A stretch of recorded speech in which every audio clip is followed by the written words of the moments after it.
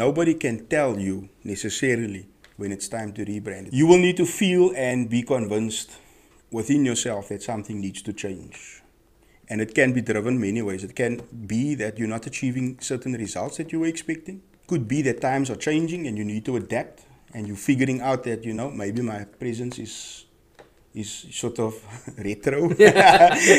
you know, uh, there's many there's many reasons that, that a person could become tempted to change brand. Welcome to Make Art, the podcast that helps creatives get creative. Our community of entrepreneurs will show you how to turn your passion into a sustainable income generating endeavor. Broadcasting from Cape Town, South Africa, here's your host, Jerome Lick.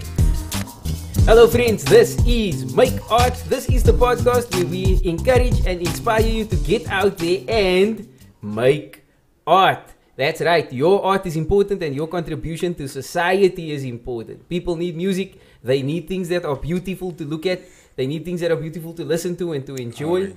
And so your art is important and that contribution must be recognized and it needs to escape the, the cage that is your mind and your imagination and be out there in the world for the rest of us to see and experience. I have with me, this is really, really exciting, my brother from another mother, my mister from another sister, IV Beats is in the building. Are we, are we? Welcome. Yeah, nice to be here. Lekker to have you In the here. Rex Ivan. studio, in the building. the Executioner studio. Slagpalen. Yeah. Yes. Um, Ivan, you are a DJ, you are a producer, you're a brand ambassador, you're a resident DJ, in fact, at Expression Session Kayla. You play regularly on the Ready D show. You are also a DJ instructor. What am I missing? Fill me in quickly. Yeah, I'm in events now as well. Um, we I recently acquired an event brand uh, with a partner, um, and apparel as well. It's something new for me. So Okay, Yeah. I'm glad I venturing out a little bit, venturing out into other avenues.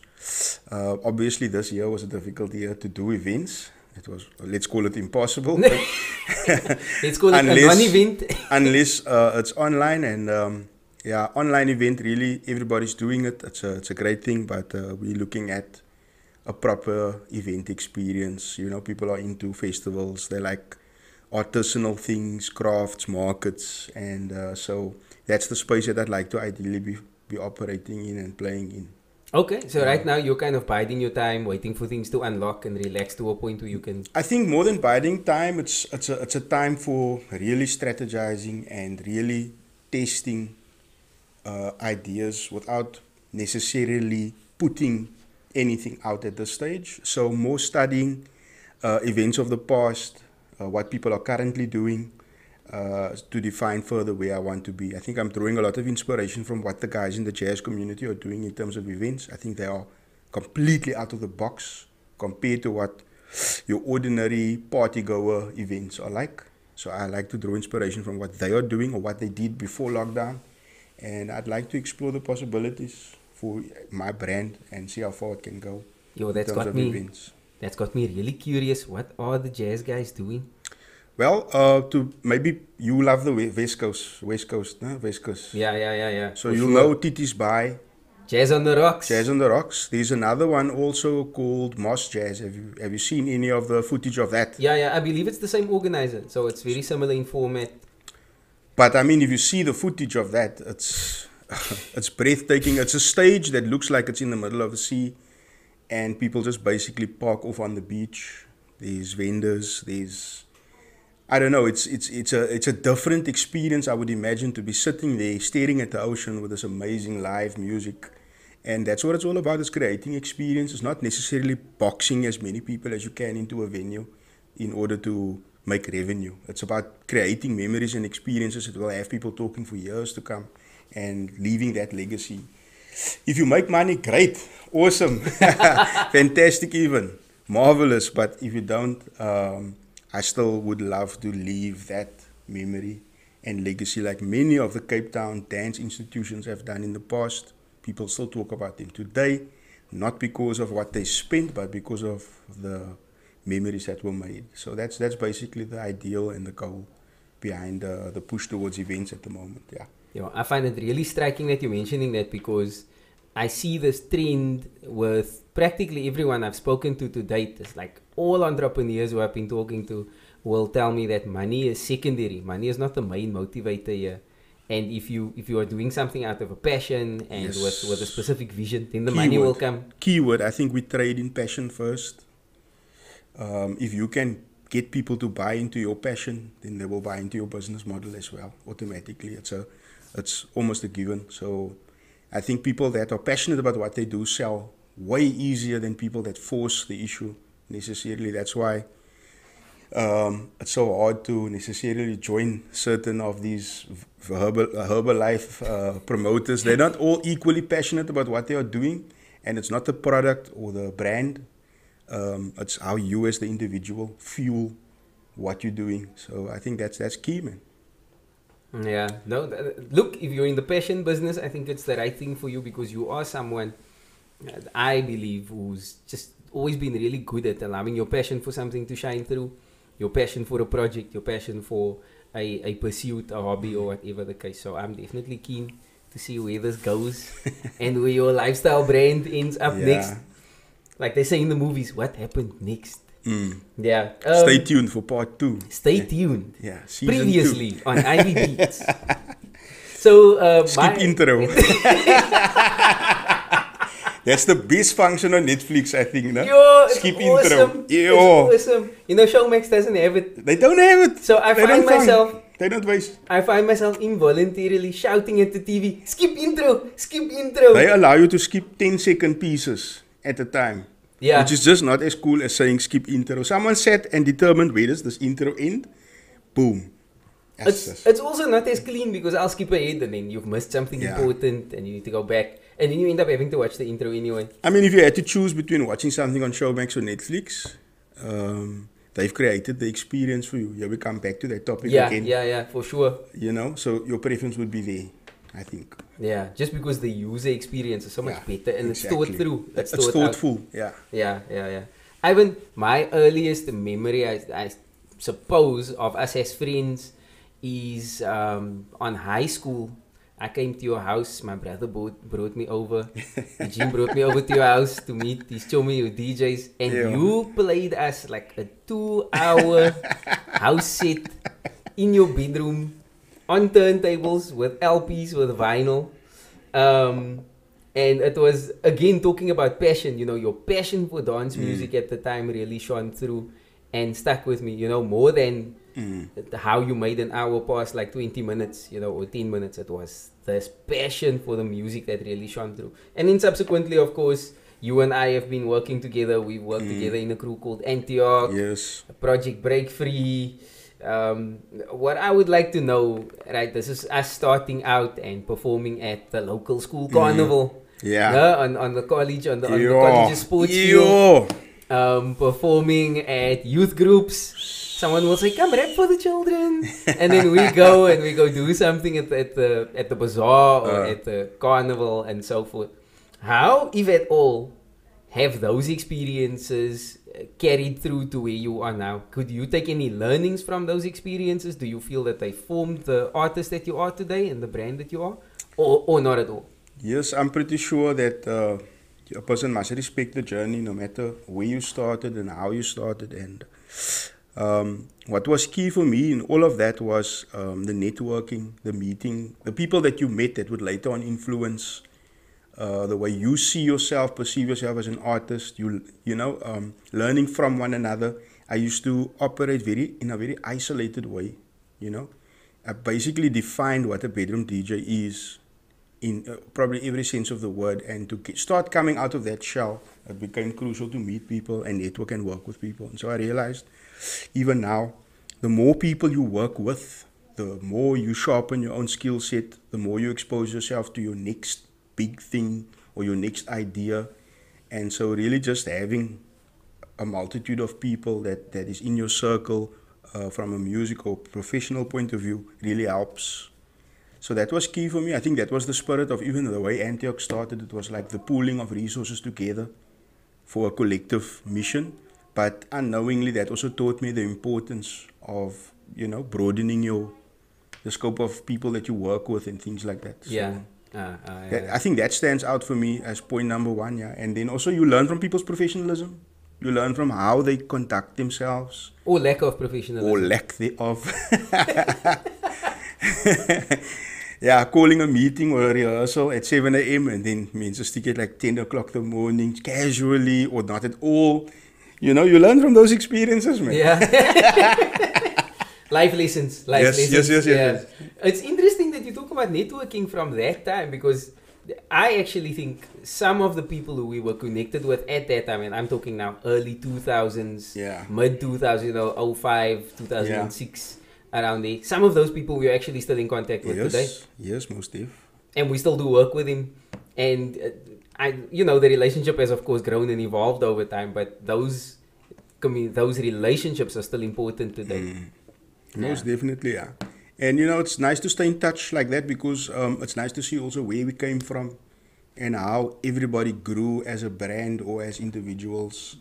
Uh, there are obviously those that, that, that dropped out along the way that decided to choose other things in life, better things uh, for them. But for those that are still operating, it's really cool, man, to touch bases and see, you know, what is the man is still busy with and so on. And it's lekker, man. Lekker to catch up and stay in touch with the people and just Yeah. see where we're going and, you know, be inspired by each other. yeah yeah, yeah and see what people are busy with now and learn from them and understand how how they are keeping their careers Mm. going and ticking over on that topic you were known at the time Yeah. as dj urinate Yeah. urinate as in here to help uh, slash urinate I help Yeah. you to hear there was a whole meaning behind your name I don't want to say deep because Yeah. another friend of mine he's, he said that um, when people don't understand something And then they call it deep. they say it's deep but you actually had like quite a few um, explanations for what Yeah. urinate was about and where the background was thereof and over time you actually established yourself Mm. as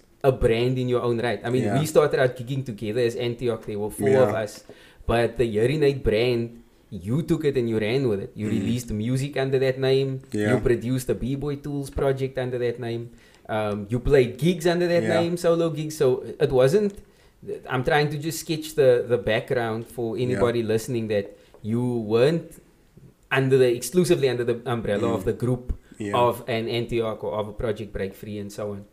So now you've got this really established DJ brand. Mm. People know Urinade, they like Urinade, and then one day you decided, maar niet te Urinade, yeah. and no? you rebranded as IV Beats. What was that journey like for you? What I, was the thing? I don't know, for some reason, the first thing I thought of now, when you're telling the story back, I'm thinking of Ishmael. Do you remember Ishmael? That was part of POC and he became Yes, a Kwaito yes, yes, star. yes, yes. And he also had like many different names at one stage. Ismail. Yeah, and- yeah, He yeah. just like- sort of evolved, and I think at one point his name had nothing to do with Ismail also. yes, yeah. Either way, um, so obviously there is an, a need at times to do uh, rebranding, and what had happened is the hearing aid brand was, if I have to paint a, a, a very vivid, quick picture, it was underground, it was hip hop, it was associated with outreach, ministry projects, upliftment in the community. That was, if I use just flash words, that was more or less what that brand was associated with.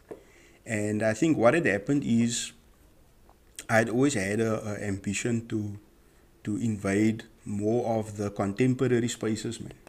So events that do not necessarily appreciate hip hop music and the underground component thereof, but more of the contemporary vibes and not necessarily hip hop also. Uh, multidisciplinary, or what is the term nowadays that they use, open format. Um, because that's where I thought I saw myself better. I can play to any crowd at any given time with any specific genre, not necessarily limiting myself.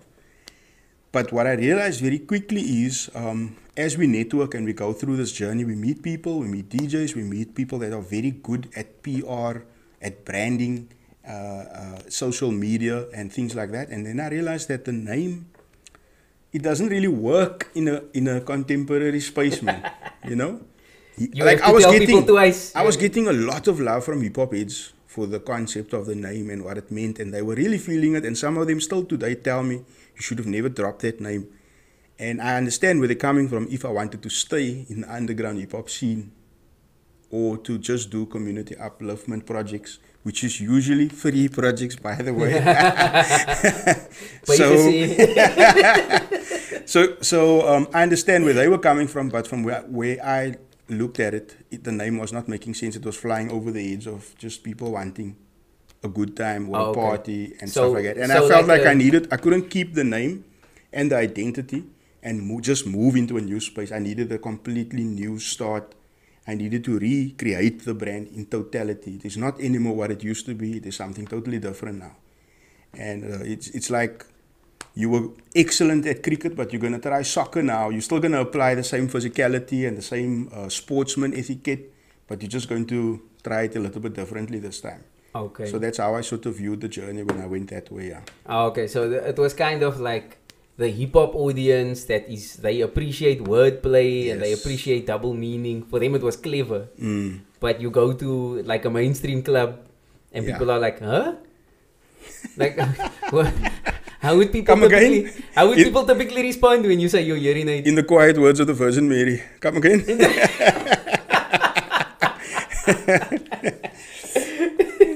so, um, can you sketch a little bit of a picture about what that was like? Like, because you were effectively starting from scratch. yeah. You took this brand down to ground level, and then Mm. you had to build it up again. Yeah, so that was a it wasn't a difficult process I would say. It was it was exciting actually. Um, because it's it's a fresh start, it's a new beginning.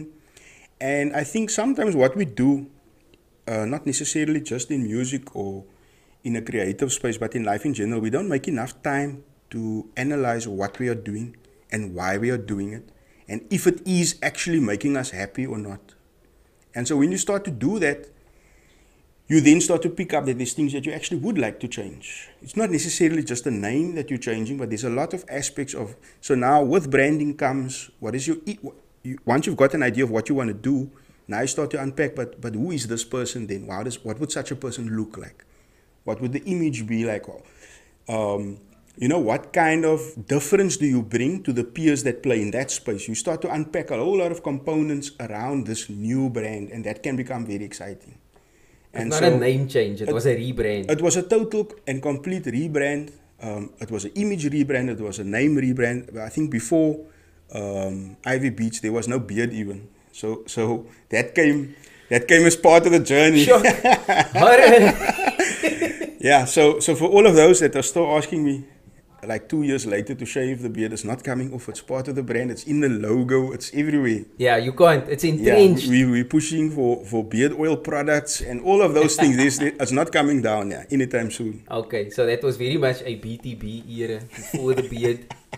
and now we are in the post beard dispensation, Yeah. where the beard has in fact been entrenched Yes. and has been cultivated over many years. It has been carefully manicured for many years, yes. Just I don't even on. think I have a gevaarlijke razor. To, to, if I had to try to shave it, I would probably vertalen the razors. Yeah, that I to be a disaster. Yeah, you can't. You've come too far now. And also, it's been too long, man. Do I even know how to shave?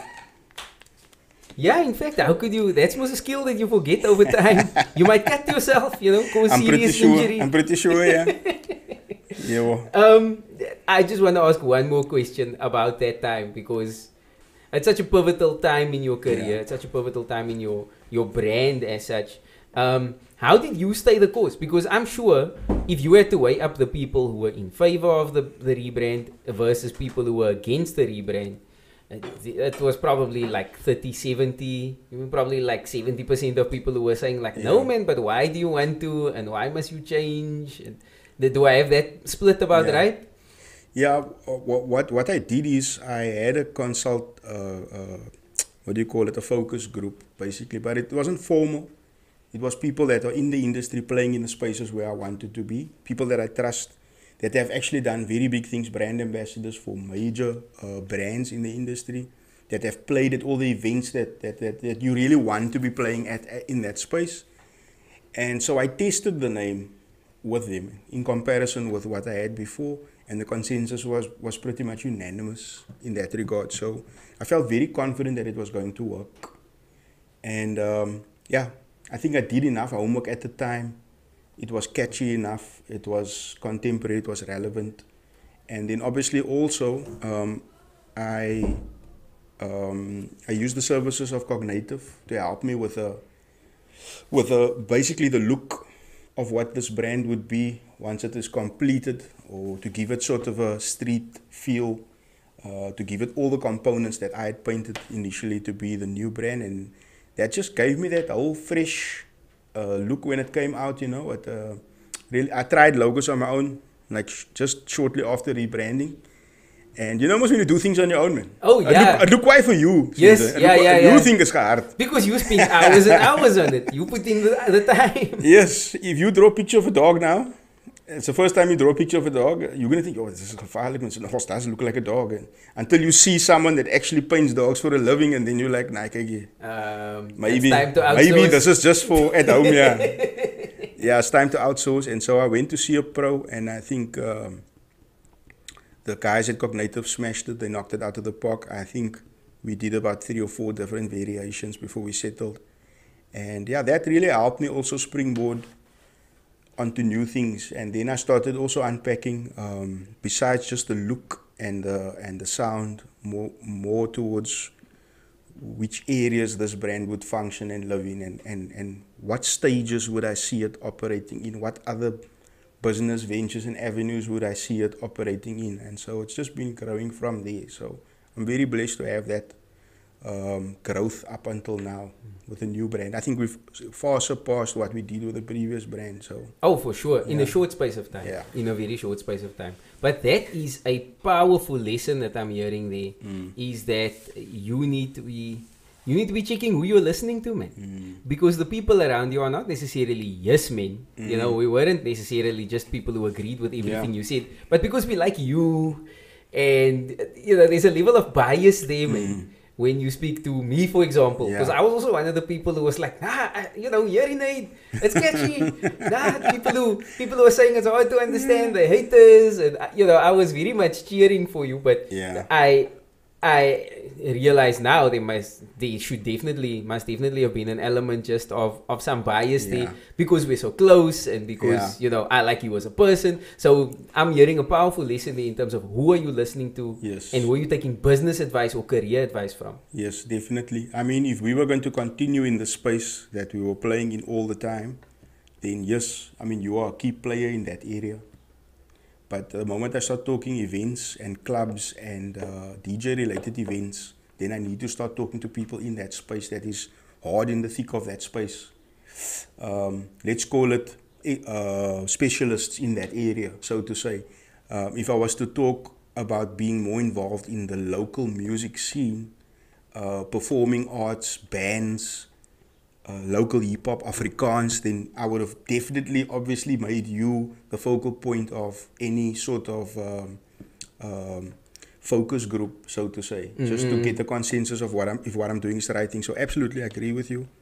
It's very important to select the team, and it's not selected based on emotion or things like that. Yeah, yeah, You know yeah. what I'm saying? So, so I had to look at who the players are you know, and I attended a few um, sessions with guys that, that were giving talks on branding, um, especially what you put on your socials, man. Uh, and I think the lesson is this, or the test is this. Uh, let me share something with you. I post random memes and jokes on my on my Facebook profile, but what people don't understand is if you go back on my profile, you won't find it.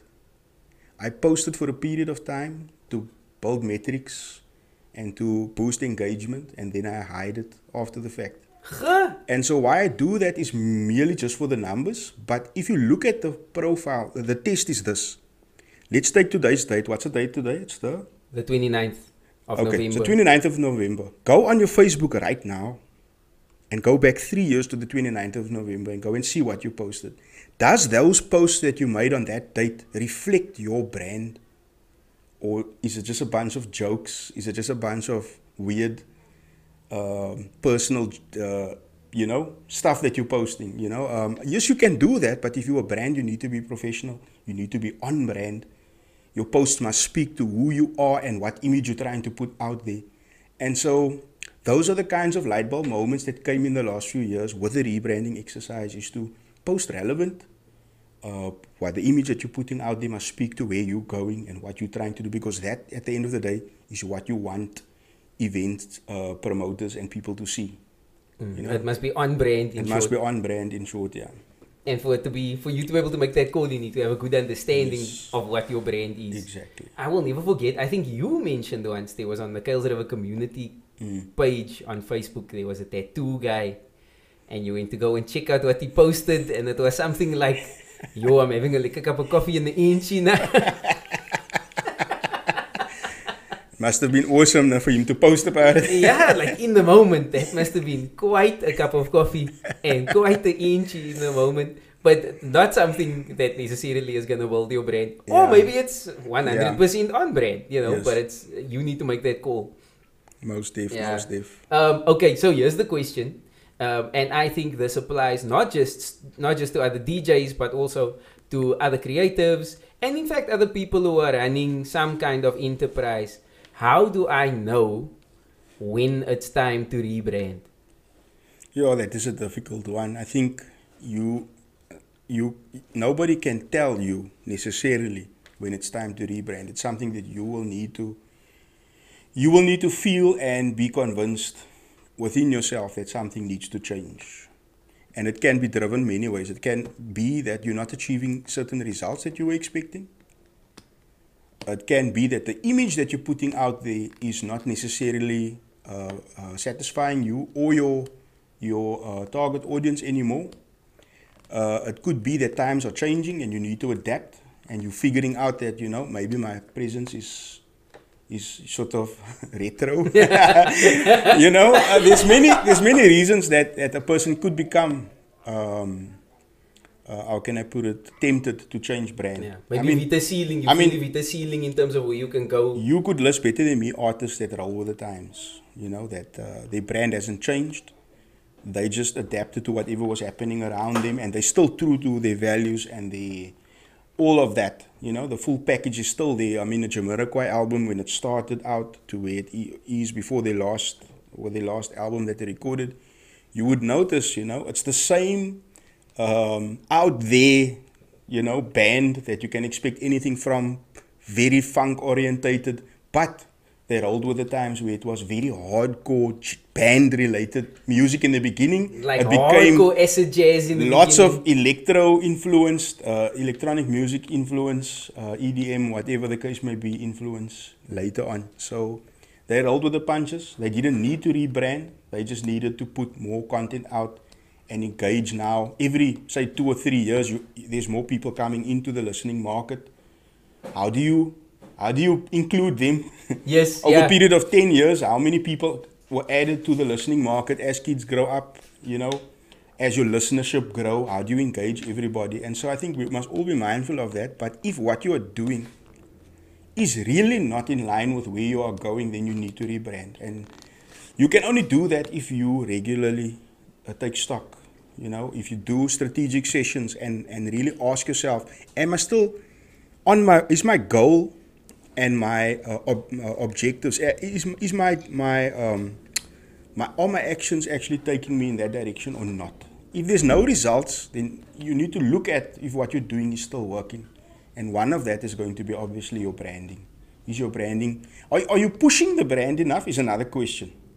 You might have a brilliant brand, but you're just not focused enough or you're just not pushing it hard enough. Um, you know, uh, I see a lot of guys, especially in the local hip hop scene, and I'm not um, outing anyone specifically, but you see it all the time. There are brilliant guys out there, but they're not really working or they're not really pushing. Their content is amazing, but they can't expect to just put content out and it's going to just do everything for itself. It's a music business, it's not just about putting music out there. The business side implies there's some hard work there's uh, strategy. This you know you must be intentional about what you're doing.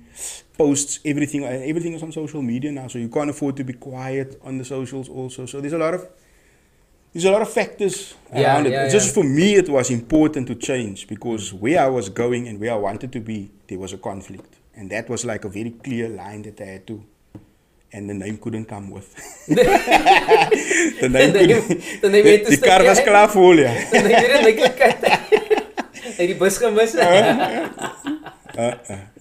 okay, um um I think that's very well answered. I think you've answered that really clearly and specifically. Um and my next question kind of pertains to that. It's also on the topic of branding. And when I look at the IV Beats brand and I look at where you are now versus, you know, where you started out a short time ago, there's a definite trend for me where you are moving in a direction. Clearly, you have an idea of where you want to be. You have an idea of who you want to be, and you are actively pursuing that and kind of grooming the brand in that direction. How do you manage to consistently be moving your brand in a positive direction? In your case, you're moving it upscale, you're moving it to a more premium audience and for a more premium perception. The next guy might be might be he wants to move to a more mainstream. So really, whatever it may be, I'm not saying the goal for everyone should be to move upscale, Yeah. but that's definitely the trend that I'm seeing with your brand. How do you to what do you credit that consistency? I think um, if I understand the question properly, um, if if you have a, a strategic goal where you, you know exactly where you want to end up, and then you've got to have, I think, goals that are, although they're realistic, you must also have dreams beyond that, something that, that pulls you a little harder because of how far the stretch is to actually reach it. If I were to say to you, for argument's sake, one of your goals should be that with um, development to take people to Mars, you want to be one of the first artists to perform on Mars. That is totally out there. That sounds just impossible. But such so big is the goal that the pull and the and the and the effect it will have on you to perform to get to that level will be such that you will surpass your your your realistic goals with relative ease or you might find that you need to, to adjust your goals regularly because you are going to reach them quicker than what you thought you would because the dream is bigger Yeah, yeah. the dream is so big that it's pushing you and it's and it's and it's and it's really challenging you and it demands an obsessive focus. so so I don't have a a um a very um outlandish dream per se, but what I realized is also you can add additional spheres to what you are doing. So instead of just aiming to like if you play if let's say you're a club DJ, you're up and coming. Your goal is you want to play at all the best nightclubs in town, in Cape Town. Um, or in South Africa for, for argument's sake. Um, that's all you want to do what I found is why don't you explore other spheres that you can play in? Try to play festivals, try to play um, um, uh, for brands, for businesses, try to play for artists, you know, branch out beyond just the club environment, and that will also help you grow. That will also help you. So that's what I've been doing. I've been adding um, additional spheres related to music, even business, adding other little mini businesses around what I'm trying to do to build the brand, and that have also made a difference for me. Beyond just going in a straight line, you create a little bit of a buzz around what you are doing day to day as well, and you take all of that with you. Yeah. So, so, so that have been um, pretty much how I've, my modus operandi until now. And I mean, it's a learning curve. So there's certain things that I know worked and certain things that that, that don't work. And uh, also focusing your time on what actually is taking you forward. Because you can get busy with a whole lot of stuff that does not actually aid you in going to where you are headed. And so that makes a difference as well. You know, um, if you are always going to be trying to get into places, um, then you're always going to be that guy, man. Ah, the guy with cap in hand begging for a gig. If you're that guy, then that's how people are going to perceive you also. Rather come then from the top down and rather say, I'm going to have my own event. And once I have that, um, I am then not just approaching the other brands around me for gigs, I'm approaching them as a fellow member of the co- events community. And then it becomes less of a situation of them throwing you a bone and more of a situation of let's work together. Because we see you as a peer. So all those things are additional add-ons that you need to consider to who you are and where you're going. It's not just about making a beeline between immediately what I'm doing now in my bedroom and where I want to be in 10 years' time. You need to consider what am I doing day to day? What other activities am I plugged into that's creating the image that I need for where I'm going actually, and not mm. just me trying to go, you know, in with my hands Yeah, out yeah, asking for opportunities and going to knock on doors and stuff like that. And it's funny how that works, eh? because if you're busy, if you're gigging, yeah, that kind of builds its own momentum and it builds its own success. Busy guys get big, get Yeah. busy guys get booked. yeah, You know, the guy who's sitting at home waiting for the gig to come in. Somehow, he, because he doesn't have any movement, he's not generating that forward momentum. most definitely. But I think also your thought process is key, man. Like uh, a guy that used to work with me that retired, he used to tell me one of the best habits that you can have is to wake up very early in the morning because you're giving your brain a lot more time to think. So by the time other people get to work, your brain is functioning 100%. You've already figured out at least two to three key problems. You've refined a thinking around a certain area. You, your personal issues are not actually with you at work anymore because you've already had time to deal with them before your morning actually started. And so, yes, thinking is very important also. We, I think sometimes we live so rushed that we are so consumed with going from activity A to B that there's no time actually for your brain to work and figure things out naturally. So I like to take time out regularly to think about what I'm doing, what activities actually are key, and yeah. Mm, And uh, also another thing is the work that I've been doing with the with the academy um, as an instructor there, working with students, have also been awesome because you've been able to share that journey with other people also, man. You know, um, I think that is also key. You know, doing things that make you feel good as a person. You know, you feel good about yourself because you've done certain things, you've made certain mistakes, and you could actually share that with a next generation. And that will be your legacy at the end of the day. I mean, how many students have come through me as a as an instructor now? Those guys are still in contact with me, even though I don't see them as often as I used to. They'll still inbox me. They'll still like and share my stuff online. And uh, yes, they're part of my community, so to say, as well, and me of theirs as well. So it's it's a it's a lekker environment. The DJ industry is a lekker community. It's a small community. You can't talk bad about anyone. You know, it's gonna come out. Because you can't hide. You can't hide. There's, there's only so many. There's only so many of us around. Although it feels like there's a lot of them now, but still, man, it's a small world, and you have to be. You have to be neutral with everyone. You have to be Switzerland. You can't be. And although it's clicky, it's extremely clicky. That is not uh, uh, beneficial if you're gonna move just in certain cliques, man. Try to be Switzerland. Try to be in with everyone. So yeah, those are the things that I've been applying that have been working for me so far. Mm, mm, mm, mm. I, I remember I often talk about to other people about you, about how glad I am that you're teaching because I just you have such a passion for what you do, um, and you have such a way with audiences, and I'm really really glad in myself. Selfishly for you that you are teaching, yeah, that other people get to enjoy that aspect Yeah. of your personality. That's really great to hear. And that, do you find that keeps you sharp as well? Because I think I often tell people, you think you know a thing until you need to explain it to the next person. That's true, yes. Look, the work with QDJ Academy has been has been a very special time in my life. That like, a lot of my development came through that process, and so it was just natural that when it came time to give back and to also participate as a as a as a instructor on that side of things, that it came very easy to share um, with with the with the students that came through. And yes, they keep you on your toes because they're always asking questions that is not in your script. You know what I mean? um, and yes, you get tested at times because they'll ask you questions, and if your explanation doesn't add up, because it's a practical activity, you have to be able to demonstrate that it, what you are saying, you have to actually show it as well. So if it doesn't add up, it causes you.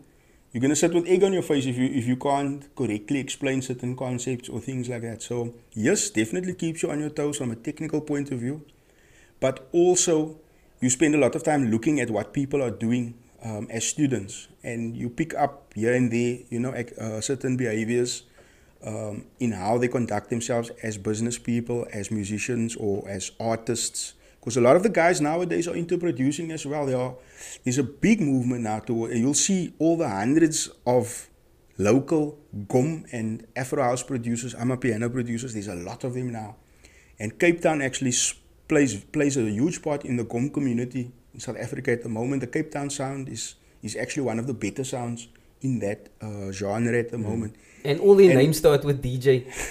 the DJ this, DJ, DJ that. Or Yeah, you're a producer. No, I must tell you, some of the guys that I like now, Walume, Walume boys, you know, their name don't start with DJ, but I mean, there's a lot of there's a lot of guys out there now, and you'll be surprised what they are able to achieve with very minimal resources. I mean, they basically stay with their mom, they have a laptop, they use earbud, in-ear earphones. You know, I mean? there's no monitors, there's no mixers, there's no and these guys are out there producing and they're making music and people are actually consuming it you know? It's not professionally uh, crafted music in studios with mastering and mixing and things like that. These are guys that are doing these things in their bedroom. And uh, yes they are able to actually get their music to the point of consumption. They bypass perhaps the the fa- the The the monetary outlets. the monetary aspect of, of, of how music is supposed to be consumed. But at the end of the day if your music is trash no one is supposed to be listening to it but their music is, is getting consumed Yeah. so so there's a lot of things to to look at in i mean for me coming from the old school where dj just played music you know you're featured with bands as a hip-hop dj but now we're playing in a different space now where people are actually looking more towards production and playing their own content or creating their own content. And so, yeah, it's a very interesting time to love and especially to teach. Because you must be at the forefront. You must know what's going on Yes. when you tell other people what's When they mention these names, you have to at least know a few of them. you can't be like, who? What? Uh, Do you ever like, um, yeah, yeah I Of know course. about them. Yes, yeah. uh, Yeah. I mean, this has been amazing. There's all these other threads now that I want to go into, but we've already been busy for 40 minutes. I'm going to close out with two more questions. Firstly, what are you busy with now? And where can people get hold of you? That's one question, although it sounds like two. And then secondly, who is the greatest club DJ of all time? hectic. Yo, gevaarlijke question at, at the end. Um, what I'm busy with at the moment, uh, like I said, there's an event brand that I'm still working on. It's also an apparel brand. So um, look out for Dope Society on Facebook and Insta. Um, the apparel side of things have been slow going, but we are still procuring proper service providers to execute everything that we're busy with. And uh, we're looking to launch product very soon. And then, um, yes, I'm still resident on the Ready D show. I think this is my fourth year now that I'm with, with D on the show. Uh, before that, I was just as a guest uh, occasionally. Uh, so it's always great to work with legends like that. I mean, to work, walk into a studio and see Ready D and have him acknowledge you as part of his crew or his team is unbelievable, man. Like you grew up as a lighter seeing Ready D and hearing him on the radio and and now you can say you're part of the team and it's like, yeah, it's, it's, it's a other feeling till today. Still get goosebumps. And so there's that. Um, I was recently involved with um, residencies at two different clubs. Um, I have unfortunately had to sabotage because of COVID 19 and the issues uh, surrounding that. I think it's also important to be responsible, man. You know, you can go for gigs and gig everywhere, but is it safe to do so? Is it responsible to do so? And so I think this is also why my partner and I decided we're going to hold back on physical events until it is really responsible and safe to do so. Yeah, yeah. Not just We with the law says. We don't want to do it just because it's okay to do it and exploit the loopholes that there are. We know there are loopholes that allow you to have events. But is it the right thing to do? Is it the response? How would you feel if an outbreak happened at your event? And how would you even be able to defend that? I mean, I've been, and this is an issue that I maybe shouldn't be talking about, but I've been to events during lockdown, and there are very little protocols being observed. I mean, as DJs, we are fighting, and as the entertainment industry, we are fighting to say, listen, they must lift the restrictions so that the industry can survive this. What about the people must survive this, man? You know what I mean? Yeah. Everybody must survive this, not just the industry, because while you are trying to get back to a good financial footing and to thrive, your actions mustn't uh, compromise people's health and safety. So, doing the responsible thing is also who I think as a brand we are. So we must stay on brand, and so that that's that's where I'm at in terms of activities mostly. Um, I have also a brand ambassadorship that I just newly started out with, so I'm creating lots of content for them as well, and and that is another stream of income, revenue, and activities, man. You know, you're creating content now. We live in that world now. Yeah, we don't yeah. just we don't It's just so- rap and we don't just make series. We create content. Yeah, content creation is like is a huge part of every artist, DJ, personality's day to day. And often social media currency can almost be the same as Yeah. income. You know, it, Yes, it puts you in in a certain bracket. It puts you in Most front of the right eyes. most definitely. I mean, that is what you use to sell nowadays. You know, whereas before you would say CD sales, or you would say, you know, I've performed at the following major events that lends a certain credibility to you, that lends a certain professionalism to you.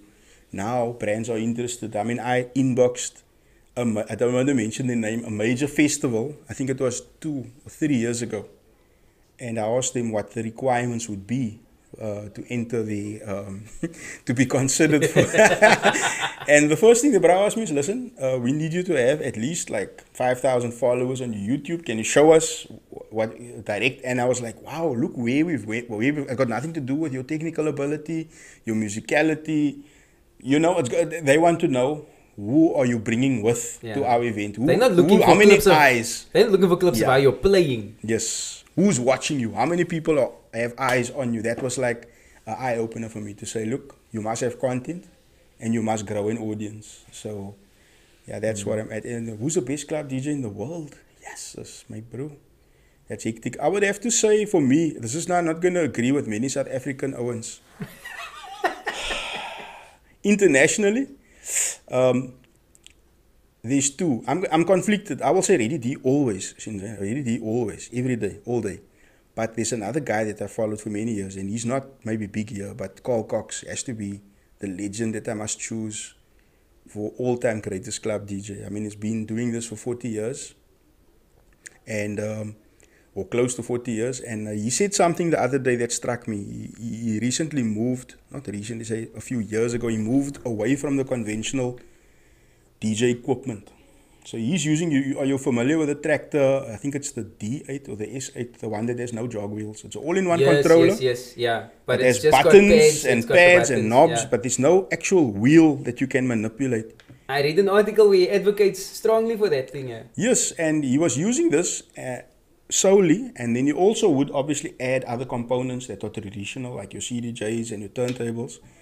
And they asked him, but now, don't you feel uncomfortable moving to this? Isn't it like copying out? You're not using real DJ equipment anymore. It's like sort of, you know, it's like virtual DJ vibes and whatever. And his, and his response was very simple, and it was, I think he imposed himself in the sense that, listen, this is where I come from, man. I got nothing to prove after 40 years of mixing on ordinary DJ equipment anymore.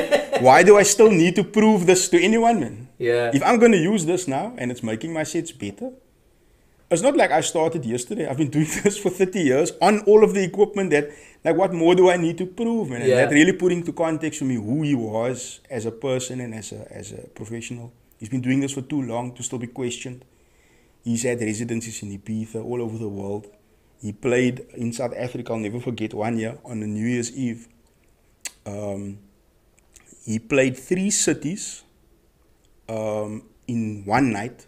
He played three New Year's Eve parties in one night in three different countries. Oh, that's epic. Yo. So he flew back in time to be at one of those parties. I mean, that is just stuff that is like superhero vibes, man. Yeah, yeah. It's not normal. He played now for New Year's Eve. He flies back in time to play another New Year's Eve like that, man. It's just crazy. It's insane. That's the stuff of legend. Yeah, it's hectic. Yeah. Ivan, thank you. This has been amazing. Find IV Beats everywhere on your socials. Follow his Mixcloud. There is another subject Yeah. we can talk about Yo. a different time. can of worms, can of worms. We're not getting into it here. But thank you so much for joining, and it's been really epic talking to you as always. Yeah, thanks for having me, bro. It was always lekker to chat to you. Always, Always. always.